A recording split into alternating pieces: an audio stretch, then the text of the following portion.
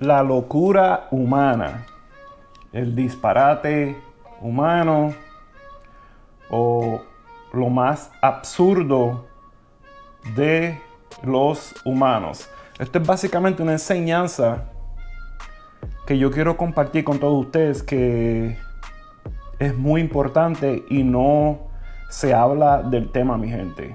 Y usted me pregunta, Luis, ¿por a qué te refieres con eso de la locura humana?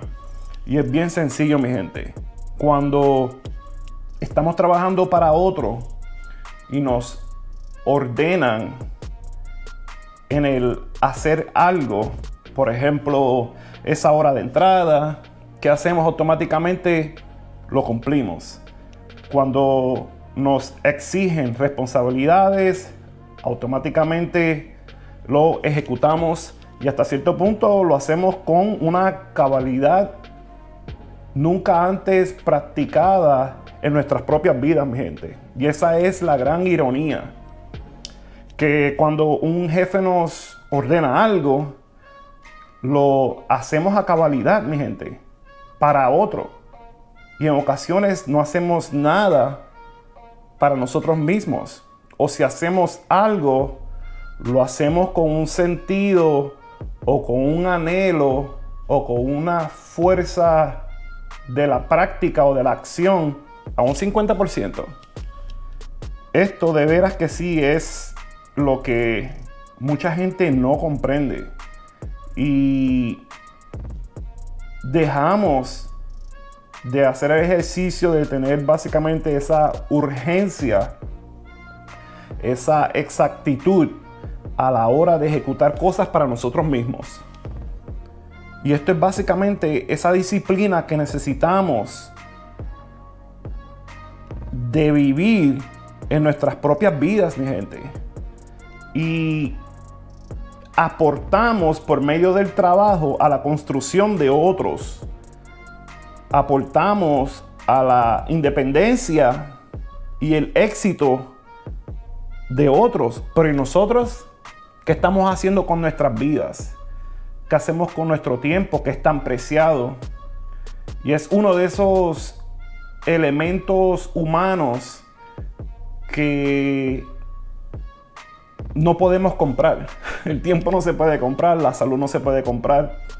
Y por ende tenemos que valorarlos con sumas ansias. Y tenemos que vivir cada segundo de nuestras vidas al máximo, mi gente. Pero cuando decimos voy a emprender, voy a crear algo, voy a construir algo, en nosotros no existe esa cabalidad que aplicamos en, nuestro, en, nuestros propios trabajos. Y esa es la parte que es la locura humana, que es el disparate, es la parte absurda que tenemos que comprender. Una vez que podemos hacer esa separación y podemos analizarlo de la manera que se los estoy exponiendo, uno entra en sí y puede despertar de esa ilusión o de ese coma que uno no entiende y por ende uno no está reaccionando y no es proactivo en ejecutar acciones a favor de uno y de nuestras vidas, mi gente. El tiempo está corriendo. El tiempo, una vez pasa, no podemos volver atrás. Hasta que entendemos y sobre todo aceptamos, mi gente, que el trabajar para otro es simplemente, como siempre digo yo, una esclavitud moderna. Lo que evita la libertad y la paz financiera que todos deseamos, mi gente. No tenemos excusa debemos de coger una hora del día. Dormimos ocho horas, posiblemente si usted está trabajando en un trabajo secular o en la esclavitud moderna, trabaja otras ocho horas más. A lo que desayuna, a lo que llega a su trabajo, a lo que hace sus cosas personales, posiblemente perdemos otras cuatro horas más. ¿Y qué nos queda del día? Cuatro horas.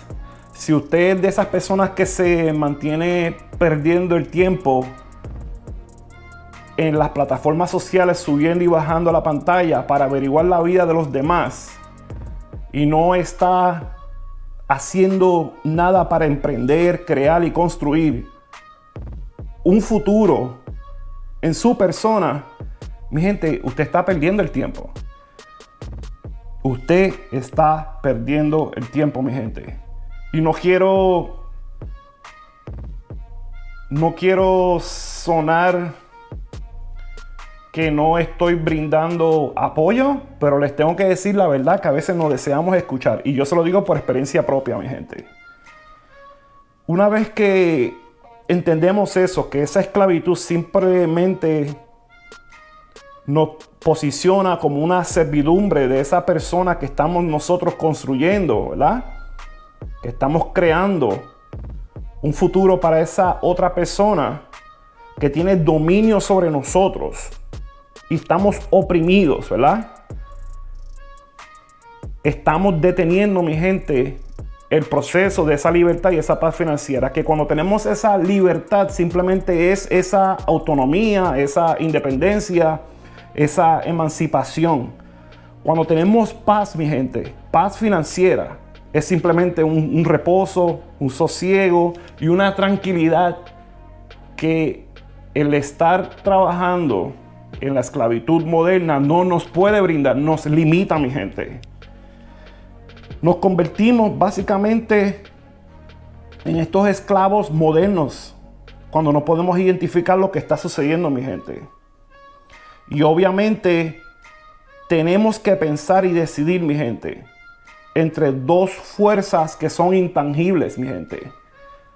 O dejamos que el temor se apodere de nosotros y nos controle, o dejamos que la valentía viva en nosotros y nuestros corazones y podamos ser productivos en nuestras propias vidas, mi gente.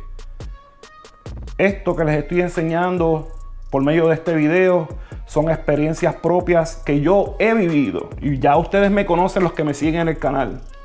Yo siempre voy a ser real con todos ustedes y voy a utilizar mi vida como evidencia y testimonio de que todo es posible. Todos posiblemente no tenemos ese talento, no tenemos básicamente un cierto grado de sabiduría, pero con la disciplina y la tenacidad se puede alcanzar cualquier meta, mi gente. Y yo de eso soy evidencia, mi gente. Aquí les dejo mi motivación del día, que la escribí yo mismo, pensando en todos ustedes, para que puedan ver en mí un ejemplo a seguir y yo voy a ser esa persona que yo siempre busqué en las redes, mi gente. En tratar de encontrar un ejemplo o una guía a seguir basado en sus experiencias. Nunca lo encontré. Pero cuando uno es bendecido por la vida, uno tiene que devolverle al mundo las bendiciones que uno recibe de parte de Dios. So aquí les dejo mi enseñanza. Y como siempre me despido, bendiciones, éxitos y peace.